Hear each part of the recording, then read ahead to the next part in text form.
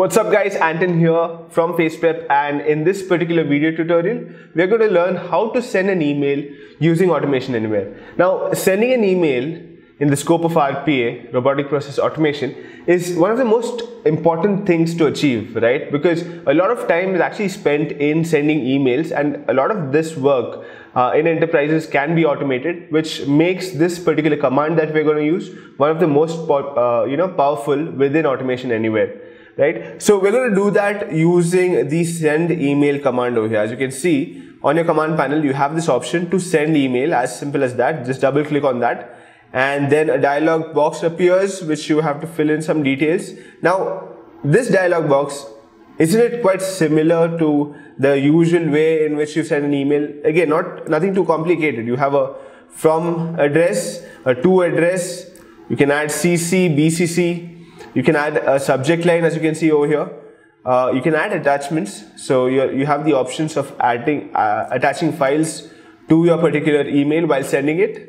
You also can attach all variables. Now all the variables that are uh, part of your particular bot will be attached at that point in time and sent if you choose this particular option here. Now, why would you want to do that? Again, just in case there is some error that crops up and at that point in time you want to send an email, uh, this, this will practically put all your variables together. Both your system uh, variables as well as your user defined variables will be part of it. We'll, we'll have a look at it in a while. You'll get to see exactly what I'm talking about. Uh, just continuing here. So you can validate if the attachment is missing or not by uh, checking this box you have text and HTML. So you can send uh, the email using plain text. That is, you can enter whatever you want over here or you can use HTML in order to send it. So we'll have a look at both of these as well as part of this particular uh, tutorial, right? So now, while this is self-explanatory, that is not enough for you to send an email. Now, similar to reading an email using email, email automation command, while you send an email, there's few settings that you have to keep in mind. The first setting, the first email setting you have to do is actually on your um, email address, that email account with which you want to send an email. We'll get to that.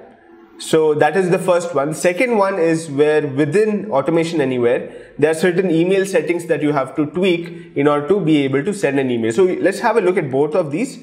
So first of all, I'm going to uh, find my email settings within automation anywhere. First let me do that. So to do that you will have to go to tools. Now not this tools over here but the tool tools in your dashboard right? When you open your automation anywhere client the tools uh, on your panel up here is what you have to click on and you'll have to go to options over here as you can see.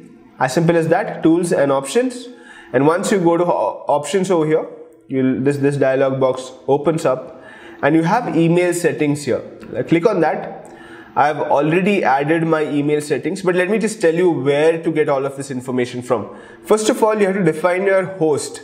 Basically this is your mail server and this is your outgoing mail server. So SMTP is used. Uh, this is the protocol that is used to send emails uh, I've spoken a little bit about protocols in the other tutorial, that is the email automation tutorial where you are going to access your email messages. You can have a look at that over there, but broadly you can also Google about what SMTP is all about. It's simply a protocol or a set of rules that allows you to send an email and work with the outgoing mail server as you can see over here, right? Uh, and again, just in case you're curious, SMTP uh, stands for Simple Mail Transfer Protocol. Now, what about these uh, details here? The host smtp.gmail.com, port number 465. Where do we get these details from? Again, I'm going to use my Gmail account for this purpose. So if I have to send an email using my Gmail account, I'll have to use the host SMTP host as this, right? Specified by Gmail. In order to find out where to find it, a couple of places Gmail itself uh, provides these details. If you just search for uh, Gmail settings for SMTP, you'll find this. So IMAP, as you can see, and as we have discussed, IMAP is used in um, accessing your emails or reading your emails. To send your emails, the protocol that you are going to use, right, would be SMTP, as you can see. right? So right over here is where your details are. smtp.gmail.com is going to be your host name, which is going to be uh, entered over here. Then you have your port number. As you can see, it's 465 for SSL, right? And that's why it is entered here. Another place, uh, in case you're not able to find this, another place, uh, a relay place you should spend a lot of time in, at rather, is uh, in the documentation at Automation Anywhere, right? You have a send email command here uh, where it's talked about the send email command and down here is uh, the server for Gmail, it is smtp.gmail.com and you can see the supported ports. It's 465, which is what I'm using over here. Right, so I'm going to tick these two options as well. My server uses secure connection. Yes, it does. SSL and my server requires authentication. Yes, that is why I'm giving my username and password. So I've entered my username and password of, of the email account that I'm using in order to send my email. So the username and password is already entered over here. You can enter your uh, own and then that'll be done. You also have include uh, go green message at the end of the email. It pretty much attaches a small message there saying do not print save the planet right? If you want to include that, go ahead and include that. So I'm going to leave that as it is because I love my planet. All right, so this kind of, um, you know, uh, does it as far as your uh, settings, email settings is concerned within Automation Anywhere. But this is the first part of it. The second part, if you want to send your email, is that you have to go to your email account. Now that is over here, right here. This is the email account that I'm going to use in order to send the email. So you have to go to the email account and uh, there is one small setting that you have to tweak over here. So for that purpose, you have to click on this grid icon and go to your account. This opens up and when you come down here, you will find uh, security. Click on security, one of the options over here. And when you scroll down, you have an option that says less secure app access.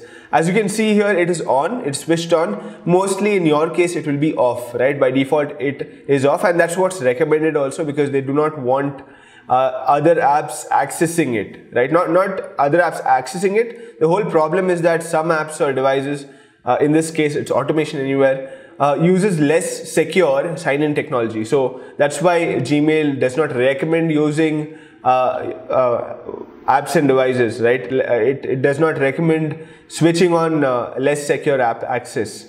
But we need to do that in order to send emails. So this is switched on. You can toggle between this but keep in mind that it has to be switched on right? So this is the second part of the setting. Very simple. Just two things you can do it under a minute, get it done, and then you're ready to send an email. So let's do that now. We are ready to send an email. So I'm just going to send an email, double click on the send email option over here. From email, obviously the account that you're going to send from, which is set up over there, the account that you have uh, set up in the options over there. Uh, in the email settings status so facepreprp at gmail.com in this particular case i'm going to put the to address to be the same. As in I'm going to send an email to my own account right? You can send it to anybody. You can send it to uh, when you're testing you can, if you have another alternate account you can probably send it to that in order to test. Up to you. Um, but I'm going to send it to the same account and that that's possible by the way. So um, I'm not going to do anything uh, too fancy right now. I'm just going to put a simple message here. Let me just say hi from automation anywhere.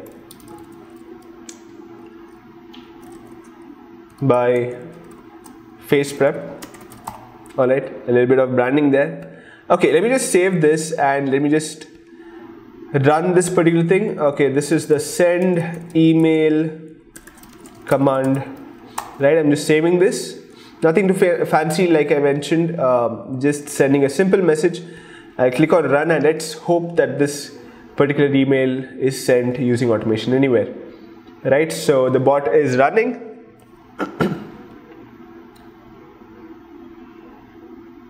All right it's done. It's done running. Let me go back to my account over here.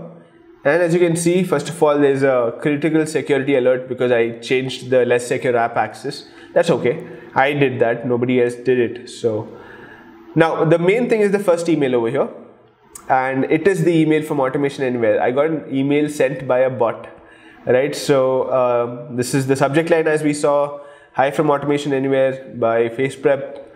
Uh, this is the message that we put in the command just in case you have forgotten that. Here's the message here. It's a text message. We can also send HTML. We'll look at that in a bit. And uh, what else? We have this go green message I told you, right? So please consider the environment before printing this email.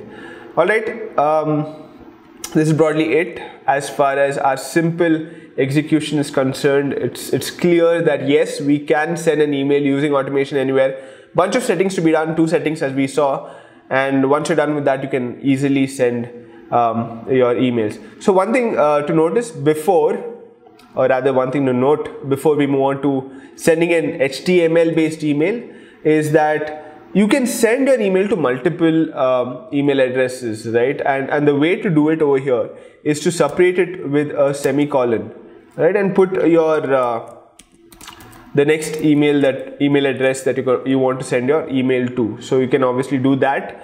Um, another thing to note is all of these uh, fields here, you can add variables, right? You're allowed to add variables inside these fields. I mean, uh, that that is truly and greatly helpful. You can uh, practically, you know, work it out outside of this particular command.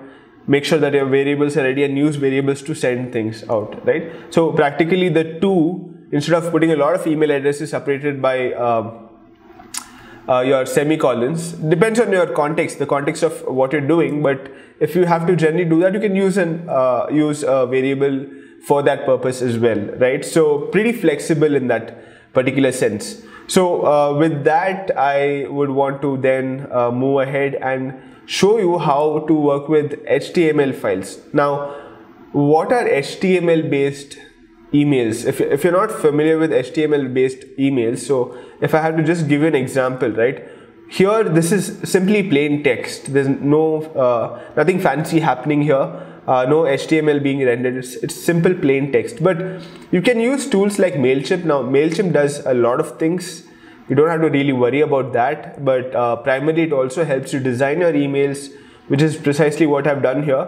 I've created a, or rather, I've used their uh, template over here. As you can see on the left hand side, these are HTML based emails. It's not plain text. There are images, there are uh, uh, this text with multiple fonts and uh, rendered differently, right? This is in a different format altogether. So there's a lot of things happening here, and this is pr practically what uh, we mean by an HTML uh, uh, based email, right? And what I'm going to do is I'm going to send an email such as this using automation anywhere and that's going to be simply amazing right so in order to do that first of all i need to pull out the html content here and how do i do that so, I mean, uh, in this particular case, I'll have to tell you how uh, MailChimp works. Not too complicated anyways, but for the purpose of this particular exercise, I'm going to go straight to it. I'm just going to, this is basically the email that we're looking at. Send email, uh, send email AA command is practically this email that you can see over here. And I'm just going to uh, export the HTML, click on this, export as HTML right? I'm going to show you the html code soon enough. Okay it's it's downloaded. So let's just uh, look at it. So here is the html which will evaluate to or it will render the email that we just saw right? We we just saw uh, well we just saw this right so if I have to send this, this HTML over here will uh, render that. So let me just do a little bit of hygiene things or, or it's fine. I mean, I just removed one thing, but that's okay. Um, I'm going to copy this entire HTML over here and I am going to paste it in my, I'm going to uh, select HTML here and I'm going to paste it in here. Alright, so this entire HTML I've pasted in this particular text box over here. Now, let me just save this and try. Okay, I have to specify a two email address. Let me do that again. I'm going to use the same thing, not going to change that. I'm going to save this. Let's see if this uh, renders. Let's see if I receive the email the way I should receive it. I might be in for a surprise. Uh, it may or may not work. Let's see. so it's sending as usual. Uh, I suppose it'll take a little bit more time because it's slightly longer. Okay, it's done. Let's uh, go back to our email inbox and here's the file right or the email but unfortunately the html has uh, come in as the code itself. I mean the source code has come in here. It hasn't rendered into what we want to see right? It, it the the uh, the graphical email that we wanted to see is not simply there. It's it's just the um, uh, what do you say? The code has come in, in its place. So what we need to do is we need to do something else and uh, basically I wanted to highlight the error that comes in if you put this here directly. So in order to solve that problem of yours you can't put it directly into this text box here. You'll have to put it inside a variable right? So let me do that. So I hope that is clear. If you want to use okay let me just cancel this.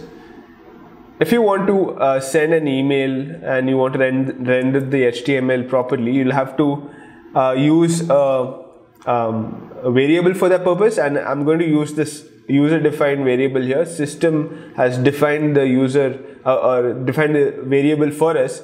So I'm going to use the prompt assignment variable as you can see here, save this. And uh, out here in the email instead of all of this I'm just going to add the variable. That's the prompt assignment variable. Again I have to make sure that I'm uh, clicking on HTML so that's what I want. So just saving this. And let me just uh, send the email and see what happens. Uh, along with that let me do a couple of more things so that we can uh, check out a couple of other things. Alongside I'm going to add an attachment see if that gets sent uh, the face logo here. I'm also going to attach variables. Alright so attached variables means that all the system variables, all the user defined variables and its values will come uh, in the email that is going to be sent. So let's see how that happens also. Right, I'm going to save this and uh, all right, that was a call right there. In any case, let's proceed. I'm going to save this, I'm going to run this and see what happens here.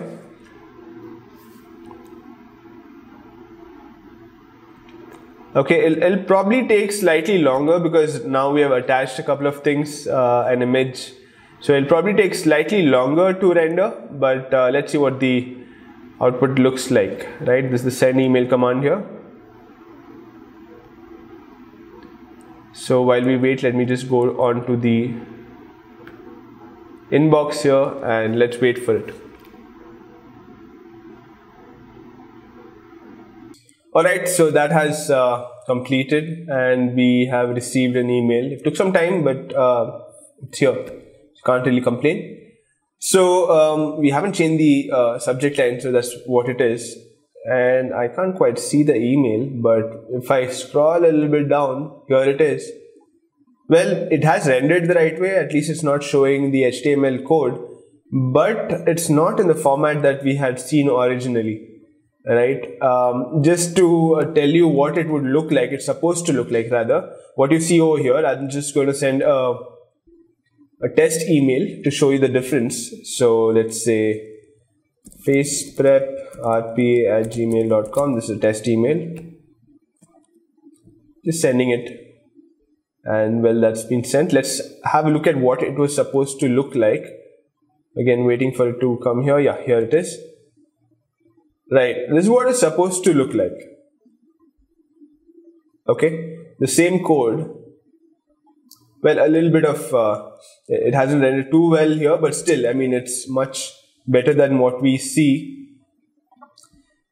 in the one uh, automation anywhere has sent right? So uh, broadly i just wanted to also highlight that when you're working with html you need to test it out a little bit and try not to keep things too fancy as well right? Using simple designs will help uh, you know send things which are uh, uh which render in a manner that is expected right? So keep that in mind. It did render our html but didn't do, do a great job at it. That's that's the only thing but again, um, that's outside the scope of this particular tutorial, how to uh, build your HTML so as to, you know, send it the right way. Again, just to uh, quickly give you a tip that keep things simple and things will work out fine. As you can see, the attachments have also attached itself. So there's one uh, logo uh, that is the uh, image that we had attached that is over here and also we wanted to attach all variables and that's also over here right let's have a look at these variables just to understand what this is so the system variables first as you can see year month day date all of these things are here. What's on the clipboard is what we copied. Basically the um, what's on the clipboard is basically when I did control C uh, this data was uh, entered into the clipboard. Now point is that I copied it from that notepad file, the sublime text file rather, and uh, I, I, had entered it into the variable and that's where it captured this, right? And if you come down here, you'll find the user defined variables and uh, where's that? Any moment now, we should be able to see that.